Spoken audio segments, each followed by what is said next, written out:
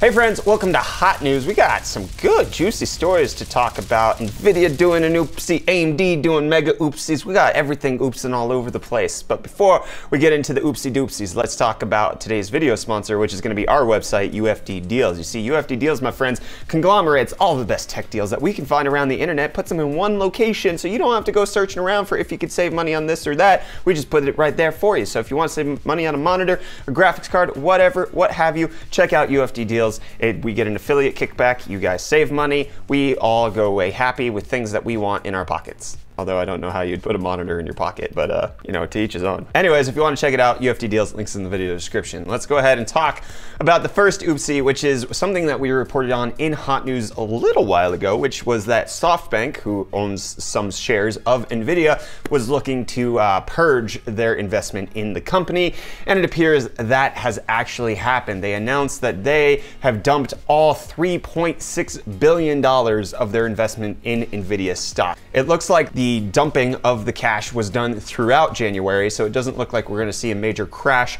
in the stock price. Even right now, it's up about $3 in aftermarket trading, but if you can just look, it's come down off of a high. It doesn't look like the price of the stock dropped throughout January as SoftBank was actually removing their investment, but SoftBank did indicate previously that they're not necessarily happy with the performance of the NVIDIA stock, hence they're jumping, dumping, slumping.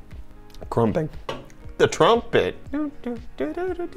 Mambo number five? Okay. So the $3.6 billion that SoftBank had in NVIDIA was part of the $55 billion that they have over 49 different companies, meaning that NVIDIA took up six whole percent of SoftBank's different investments.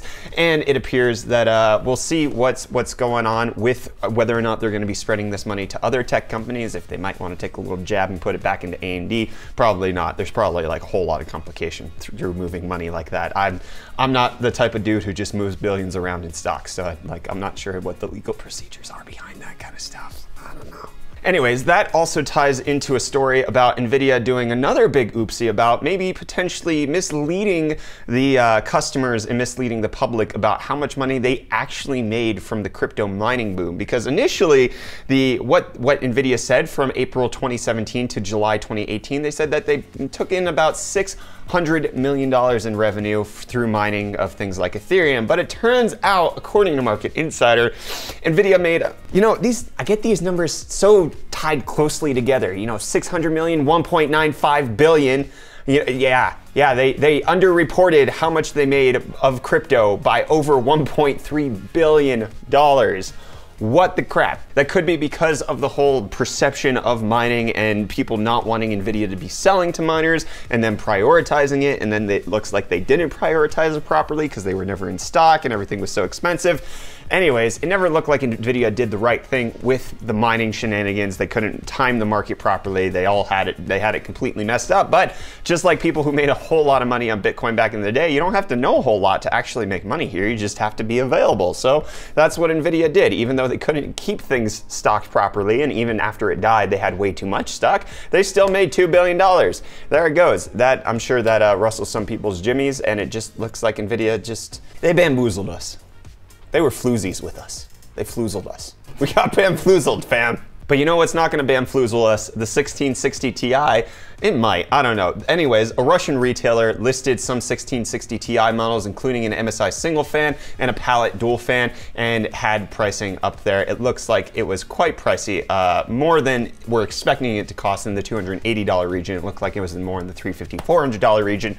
But again, that's after conversion. Russia has to pay more on import fees. Obviously, the $280 that we're expecting is for the US market. Here in South Africa, I would expect that we're probably going to have to pay more closer to what the Russian retailer has, but we'll see when it actually launches in hopefully about two weeks, maybe one week. We'll see. Yeah, just like when they philandered our wallet.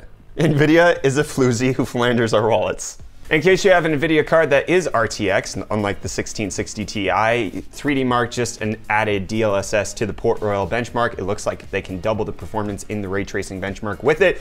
So if you care at all what the numbers look like, Mason, you can go check them out on your NVIDIA card now. Okay, so that's enough about NVIDIA and their crap. Let's talk about the oopsie that AMD did, which is uh, they have no Radeon 7s to give anybody. At all. This is nonsense. Like with the the original talk was that there would be 5,000 Radeon 7s worldwide. It either looks like they're allocating them not to retail channels, or that was just a whole bunch of crap, and they're not even going to have close to two, 3,000 in the market at all. So according to people at OC UK, they said that they got about 76 GPUs, which apparently is going to be half of what is going to be allocated for the UK overall. And on top of that, it looks like France and Spain are both only getting 20 units. It looks like for the whole of Europe, there's only gonna be like four to 500 Radeon 7s that are supposed to be coming out through the people that I know.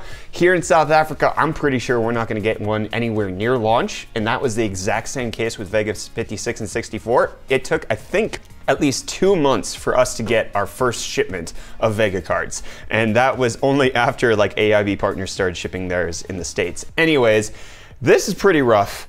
I'm not sure that uh, this is going to be a, a, pretty launch because supposedly the, the retail price is going to be $700 when it launches later today, and we should have benchmarks out probably by the time that this video is posted. But uh, good luck buying one if you actually want one because this looks like to be as big of a debacle as what was the original Vega launch because holy crap, only one to 200 units for the UK in total and 20 for Spain and France. This is just sad. Sad. So super doopy oopsie by AMD, but as we talked about in our previous video where we discussed the Radeon 7, I'm not sure AMD actually wants to make a whole lot of these. They're probably making very little profit, if any. It's honestly just a holdover until they can come out with something more powerful on their new architecture. And it kind of just seems like as long as they sell some, they can just have that flex of being the first company that had seven nanometer gaming GPUs out in the market, and they can hold that over NVIDIA's head. But I don't think anybody gives a rip, especially since we can't buy it at an affordable price. I don't give a rip. You know who might be excited? Probably not, because he didn't get as much money as he wanted. The author of the Witcher series, who sold the rights to produce the video game to CD Projekt Red, initially didn't like the payout that he got because he chose a one lump sum instead of having it paid off over the you know profits that the Witcher series would inevitably go on to make since it was so successful at the hands of CDPR. And it turns out he was upset about that, so he was asking for $16 million. And CD Projekt Red was like, you crazy, dude, you already got what you asked for. But we'll talk to you, we'll see. And it appears that an agreement has been made. It doesn't look like he got the $16 million that he was asking for, but it seems like there is a mutual understanding and then we'll see when Witcher 4 comes out if he asks for a little bit more. Maybe it includes like sales of future games. Who knows? We'll see. Speaking of future games, or current games. I don't know. Apex Legends. I don't know if you guys have heard about it. I've literally only seen this on Twitter. Everybody's raving about it. It, uh, it's just a new battle royale that dropped from the makers of Titanfall, the Respawn people, and it saw over a million people play the gosh dang game in less than eight hours after launch.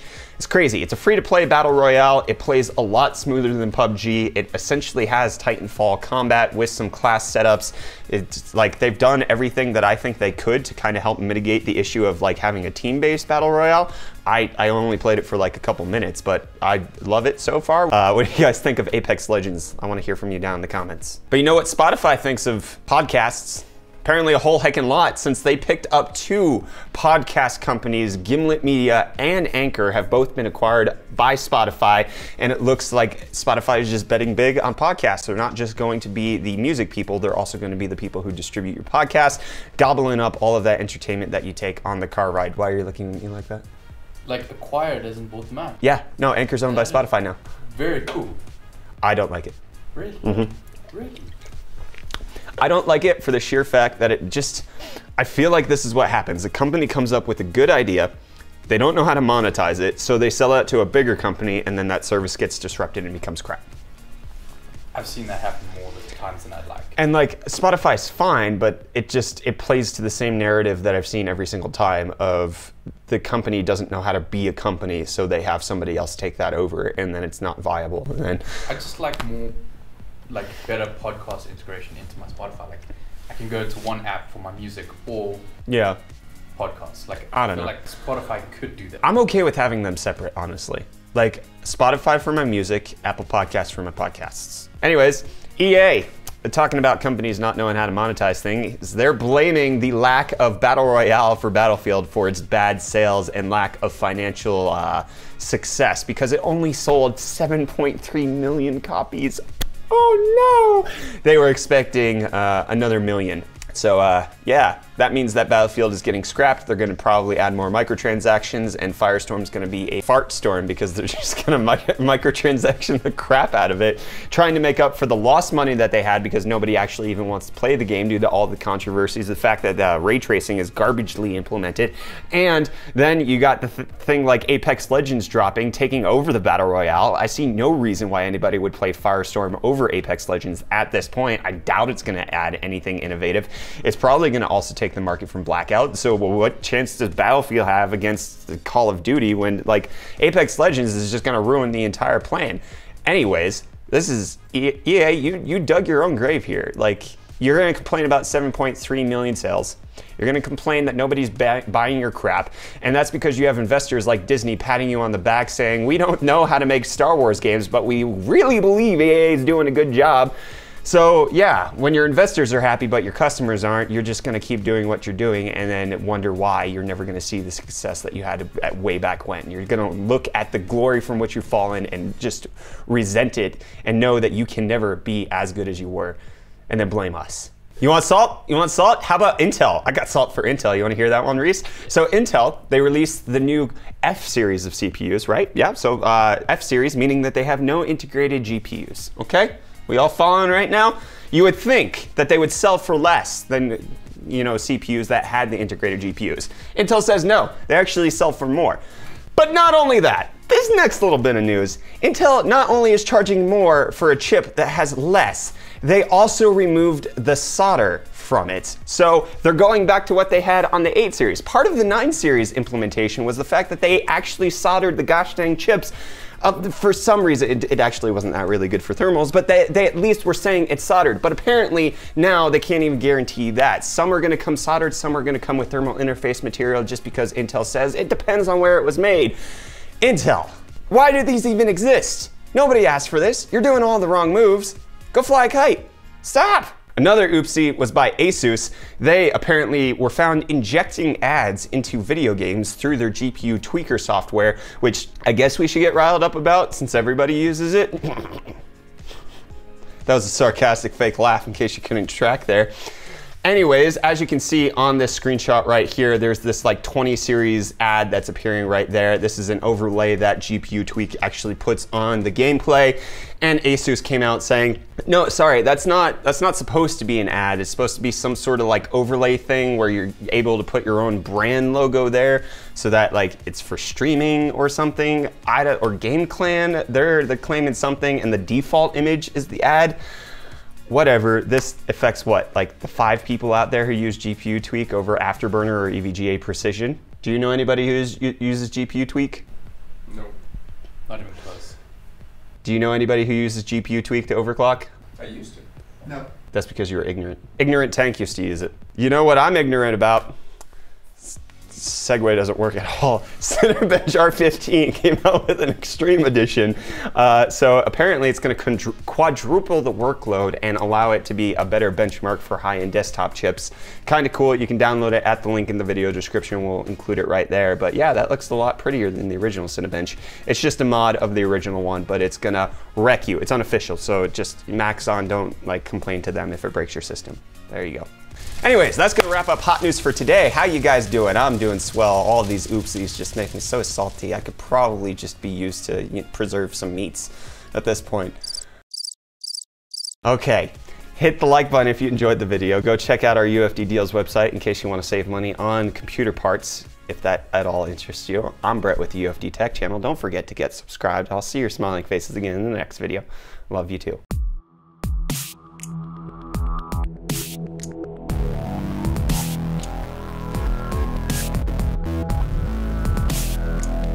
Also, side note, uh, I didn't want to put this at the beginning of the video. What do you think of the light? We got a new light. Does it look any different to you guys? If you stayed this long, let me know in the comments. Reese, show them the light. Make it bad. Zoom out and like do the whole thing. Just take it off the tripod. Make it whole, a whole bad experience for everybody. It's a big boy. It's it's it's way bigger than it's supposed to be. It's like a tent.